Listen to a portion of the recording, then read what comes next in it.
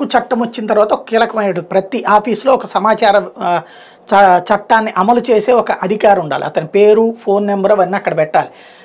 మనం ప్రశ్న వేసిన తర్వాత ఇన్ని రోజుల్లోపు అనేది మన దగ్గర డబ్బులు కట్టించుకుని ఇట్లాగే ఇవ్వాలి. ఇవ్వకపోతే ఏంటి? చట్టం ఉంది. చట్టాన్ని అమలు చేయకపోతే ఏంటి? ఖచ్చితంగా దాని మీద అప్పీల్ ఉంది. ఈ రాష్ట్ర కమిషన్ దగ్గరికి. అక్కడ కూడా పట్టించుకోకపోతే ఇంక లేదా దిక్కు? అంటే ఇప్పుడు అదే హైకోర్టుకు వెళ్తే తాజాగా కీలకమైనటువంటి ఆదేశాలు ఇచ్చింది. సమాచారం ఇవ్వని పౌర సమాచార అధికారుల మీద శాఖాపరమైన చర్యలు తీసుకోమని సమాచార కమిషన్కి ఆంధ్రప్రదేశ్ హైకోర్టు ఆదేశించింది. రెండు సంవత్సరాలు గడిచిన సమాచారం ఇవ్వని మొవ్వ తహసీల్దార్ కార్యాలయానికి సంబంధించినటువంటి పౌర సమాచార అధికారి మీద శాఖాపరమైన చర్యలకు న్యాయస్థానం ఆదేశించింది.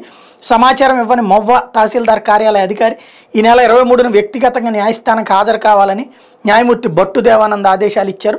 దీంతో ఇది కీలకమైనటువంటి పరిణామం అయింది తీర్పు ఏమిస్తుందో చూడాలి.